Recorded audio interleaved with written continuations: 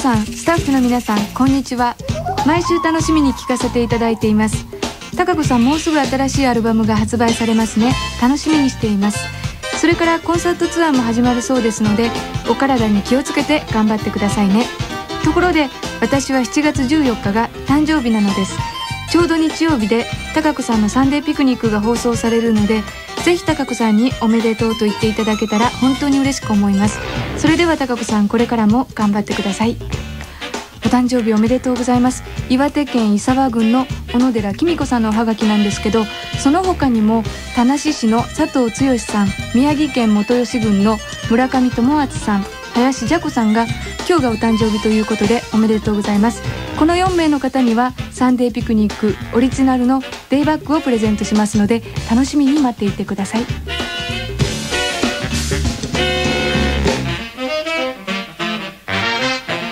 岡村孝子サンデーピクニック。この番組は心の通うお付き合い共同石油と清潔で美しく健やかな毎日を目指す顔がお送りします。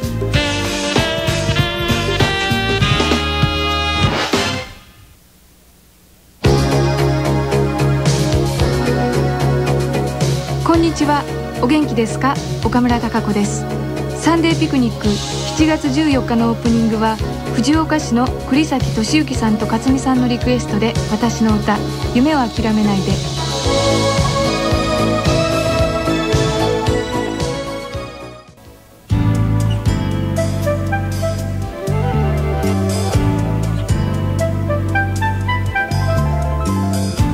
岡村孝子サンデーピクニック。サンデーピクニックときめきコミュニケーション。今月のテーマは旅行です。えーとまず最初のおはがきはこれは埼玉県のペンネームアンコールをエンコアと読んでしまった僕さん。高子さんこんにちは。今月のテーマは旅ですが僕にとって一番思い出に残っている旅行は中学2年の時に行った西湖へのキャンプです。キャンプといえば食事だし食事といえば焼肉です。そして焼肉の時の男と男の熱き戦いは凄まじいものがあります。食べたくなくても人にやるものかとかついつい燃えてしまうのです。そして翌日不運にもお腹がチクチク。そうです。前の日に食べた肉が生だったのです。さらに悲惨なことにその日は登山をすることになっていたのでした。冷や汗を垂らして一生懸命登ってもみんなに遅れるばかり。しかも先生まで先に行ってしまうのです。僕に付き添ってくれた心優しい焼肉仲間の A 君と僕は富士山の樹海の中に取り残されてしまい僕は寂しさとお腹の痛さで何とも形容しがたい気分でした。そしてやっとのことで登山を終えバスに乗り込みこれでやっとババンガローに帰れると安心していると着いたところはななんと氷結ではないですか。お腹は冷え冷え南極気分パンチを56発食らった気分でした。高子さんはくれぐれも肉は生で食べないでください。キャンプっていうとなんとなくあの私は焼肉というよりもカレーライスのイメージが強いんですけどね。あの氷結って入ったことがあるんですけど本当に寒いんですよね。冷蔵庫の中に入ったような気分だったんですけどあの本当に生の肉には気をつけてください。えっと次のハガキはこれは名古屋市中川区のペンネームお茶目クラブ会員ナンバーワンのえっと名前いいのかな？小沢英子さん。高子さんこんにちは。お元気ですか？私は今年の11月に結婚する予定でいますが結婚前に短大の時の友達と旅行へ行こうということになり1月の13日から15日まで横浜に行ってきました。4人で行ったんですけどみんなで住んでいるところはバラバラであみんな住んでるところはバラバラで私は名古屋友達は石川福井静岡に住んでいてみんな仕事を持っているので実際実現は困難かなと思っていたのですがもう最後というので実現できたんです。まず石川福井の友達は前日我が家に泊まりました。そして静岡の友達を次の日迎えに行き4人揃って出発したんですが静岡の友達は2日目仕事を休めなかったので1泊目は新幹線で帰り2日目仕事を終えてまた新幹線で横浜に来たんです。みんな気力で集まって夜も朝3時過ぎまでいろんなことに人生について恋愛について語り合ってとっても充実した3日間でした。女4人名古屋ナンバーを見た横浜の人はキーなものを見るような目をして私たちを見ていました。私はこの友達をいつまでも大切にしたいと思っています。高子さんもお元気で。本当にねあの女の子っていうのは結婚すると友達と旅行したり家を空けたりっていうことができなくなっちゃうんですよね。だから本当にこれは一生の記念になるんじゃないかなと思うんですけどその時ね一緒に行った福井県の久保弘子さんもお手紙をくれていました。どうもありがとうございます。えーと続いてのおはがきは山形県の34歳になってパソコンをこれから始めようとしている青年さん。こんにちはたかちゃん。旅行といえば僕はあまり行ったことがないのですがそれでも学生時代に三陸の海岸に行きました。そこでキャンプを張ったのです。僕たち友達5人はもしかしたら素敵な出会いがあると良いなと思ってました。女の子たちだけで来ているグループもいてナンパしようと僕たちは考えました。しかしいざ夕方になって良い雰囲気になったにもかかわらず僕たちは誰も声をかけられず声をかけようと思っていた女の子たちのグループは別の男の子のグループともうすでに仲良くなっちゃって僕たちはがっくり来たのを覚えています。情けなかった。タカちゃんはナンパされかけた経験はありますか？私はねあの学生時代にねナンパっていうか声をかけられたことがなぜか全然なかったんですけど一昨年仙台でコンサートをやった後にバンドのメンバーと一緒にドーナツ屋さんに入ったんですよね。でドーナツ屋さんのカウンターで1人ぼーっと立ってたら2人連れの男の子にね初めてナンパをされて 思わずニコニコしてしまったんですけどね。誰も岡村孝子って気づいてくれなかったみたいです。えーと続いてのおはがきは愛知県刈谷市のペンネームクリスタルキャンディさん。孝子さんはじめましてこんにちは。7月は旅行というテーマについてですが私は星を見るとあ星を見ることがとても大好きなので宇宙旅行がしてみたいんです。あの手が届きそうで届かないところへ一度行ってみたくてたまりません。今はまだ少数の人しか宇宙へ行ったことがないでしょ。でも近い未来私のような一般庶民でも絶対に行ける時が来るって信じてます。大好きな人とロマンチックに流星の中で楽しくおしゃべりしたい。まだ本当の恋愛したことないし日本の宇宙開発もまだあんまり進んでないみたいなので無理な夢だとは思いますがでもいつかきっと行ける日が来るって信じていたいです。ところでですがこの前あるテレビで高子岡村という星があることを知りました。高子さんは自分の名前が星につくことを知った時どういう気持ちでしたか？星が大好きな私としてはとっても羨ましい限りです。自分の星を特別に持っているなんてすごく素敵だなって思います。それからはあじゃない。それではこれからも素敵な歌を聴かせてください。コンサートとっても楽しみにしています。なんか本当にねみんなハガキにぎっしりと思いを込めて書いてくれるんで私もあのハガキ4枚読んだだけで疲れ切ってしまったんですけどあの初めてね私の名前のついた星をプレゼントしましたっていう手紙を読んだ時あんまりあの何のことだろうってピンとこなかったんですけど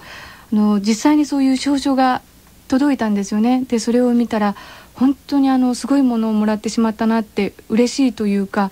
あの夜空を見ながら一人で毎日ニマニマしているんですけどすごく嬉しいです。本当にね宇宙旅行がいつか叶うといいですね。今月は旅行テーマにお送りしています。これからの予定とか思い出とか何でも結構です。ガンガンお便りを書いてください。それでは一曲聴いてください。ビージーズで「When He's Gone」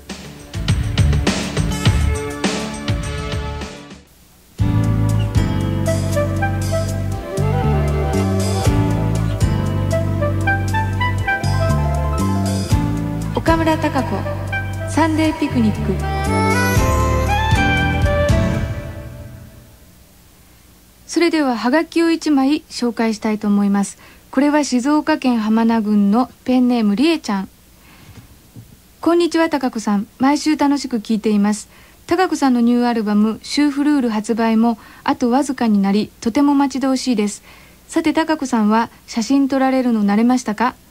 私は写真ってどうもダメなんです。出来上がった写真を見てもこれは本当の私ではないというか納得できないものが多いのです。構えちゃうからかな。特に運転免許証が極めつけなんですよね。高子さんのはどんな感じですか？みたいな。検問があっても見せたくないって感じです。理想は高子さん高子さんのような顔なんですけどね。PS 高子さん。GB8 月号の野外コンサートの写真はちょっとセクシーでんな。あんまりアダルト路線に走らないでね。なんか高子さん危なっかしいところがあるからそこも魅力なんだけどははは。7月1日私誕生日なんです。よかったらお誕生日コールお願いします。ということでちょっと遅くなっちゃったんですけどおめでとうございます。あの私も本当に写真ってダメで私の免許証もなんかねあのなんだか犯罪者のようなね 写真になってしまっているんですけどえっ、と一応アミン時代から入れるともうプロとしてデビューしてから10年ぐらいになるんですけどね未だに全然写真って慣れなくって写真撮影として撮った写真で好きって言えるものは全然ないんですよね。でカメラに向かってポーズができる人とかねあのそういうカメラに向かっていい顔ができる人って尊敬してしまうというかそういう人はちょっと信用できないなという感じすらしてしまうんですけどあの本当にあの今までのレコードジャケットになった写真とかもなんかね綺麗に撮れてても自分本当の自分じゃないような気がしちゃうんですよね。で親が撮ってくれたものとか友達と撮ったものとかそれからイギリスのチェッケンドンでスタッフの人が撮ってくれたものの方がなんとなく本当の私らしさが出ているような感じがしてそういう写真のが好きなんですけどそういえば「私の中の美風」っていうアルバムを以前出した時に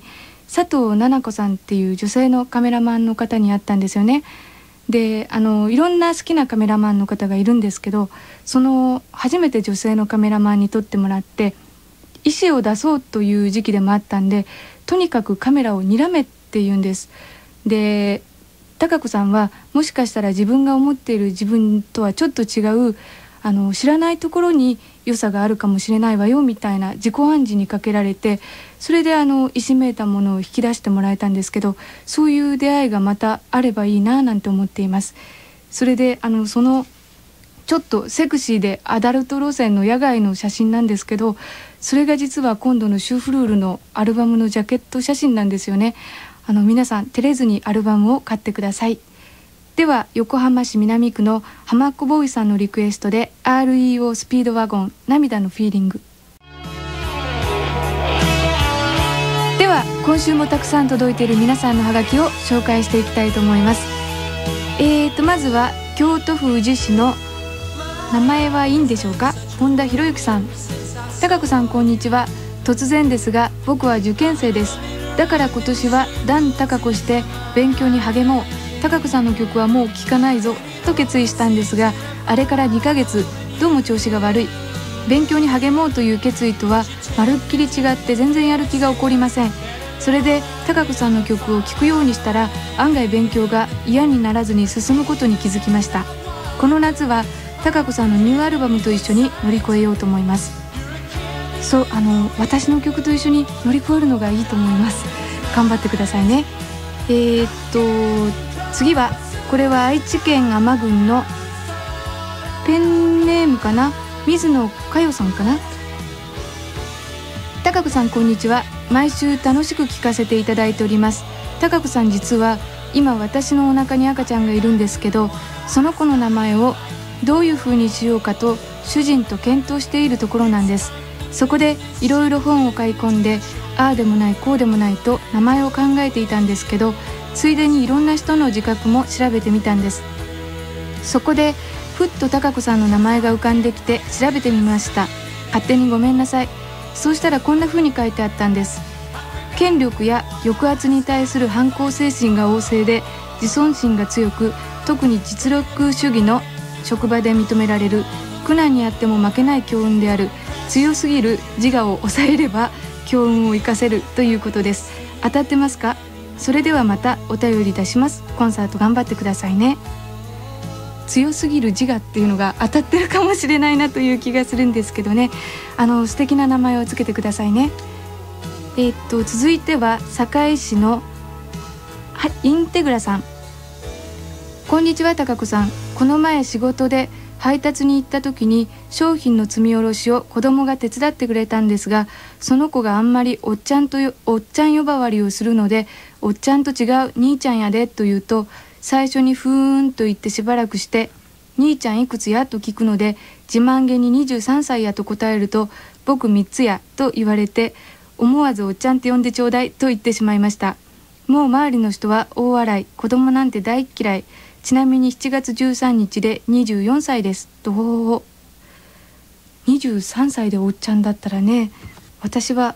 おばあちゃんって呼ばれるんでしょうか。えっと続いてのおはがきはこれは新潟県のノーザンライトスターさん。高子さんご機嫌いかがですか？最近僕はとんでもなく不幸なことに出会ってしまいました。あの忘れもしない3件目の原告の授業時間のことでした。僕は毎日3軒目を勝手にランチタイムと決めその日も授業中にかかわらず美味しく お弁当をいただいていると突然何かが飛んできたのです。わーっと驚いた瞬間あの真っ白いチョークが僕の大切な虎の子の弁当の中に見事入っていたのです。それから先生の方を見ると「しまった外したか」とつぶやいていたので変に思っていると実はチョークを僕に投げたのではなく一つ前の席で漫画を読んでいた男に投げようとしたのです。しかしもう言うまでもありませんがその時間の早弁はバレてしまいそれ以後も早弁ができなくなり僕の3軒目のランチタイムは今では遠い幻になってしまいました。では高子さんこれからのコンサートツアー頑張ってください。応援しています。じゃああのこれからは2時間目に食べたらどうでしょうか？えっともう一枚紹介します。えっとこれは香川県丸亀市のペンネーム水亀座のバスケ部さん。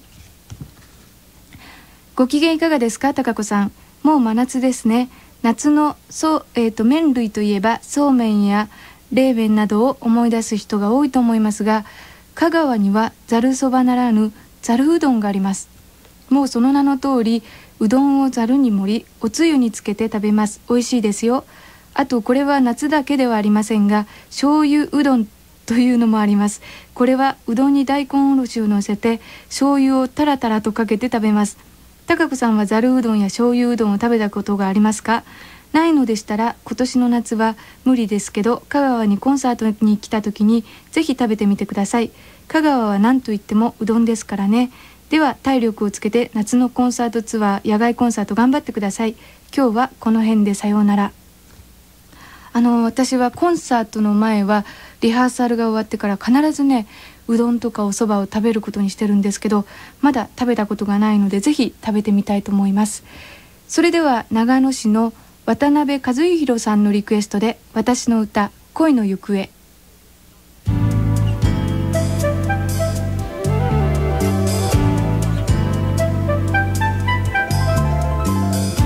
岡村孝子。サンデーピクニック。サンデーピクニック音楽館。今日は皆さんからのリクエスト曲を紹介します。まずはデンドロさんのリクエストでジュリア・フォーダム「ハッピーエバーアフター」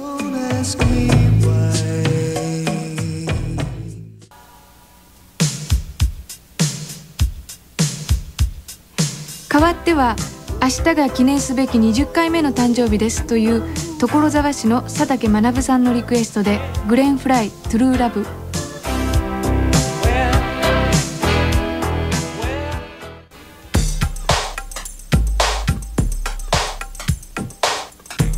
続いては大分県大野郡のゆかりさんのリクエストでスティービー・ワンダーのニューシングルです「Got to Have You」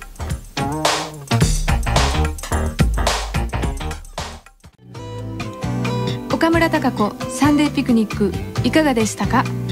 ただいま17日から始まるコンサートツアーに向けて最後の総仕上げをしているところなんですけどまた今回のツアーも皆さんと一緒に楽しい時間が過ごせたらいいなと思っています。元気な姿で登場しますので皆さんも気軽に遊びに来てください。この番組では皆さんからのお便りリクエスト曲そして今月は旅行に関するハガキも募集しています。宛先は今お聞きの放送局の岡村孝子サンデーピクニックの係まで楽しいハガキを待っています。それでは最後に今週のお誕生日の方を紹介します。7月19日久石市の柘博さんお誕生日おめでとうございます。柘さんにもデイバッグをプレゼントします。それからデイバッグただいま制作中なのでちょっと遅れますけどお楽しみに。岡村孝子サンデーピクニック。この番組は心の通うお付き合い共同石油と清潔で美しく健やかな毎日を目指す花王がお送りしました。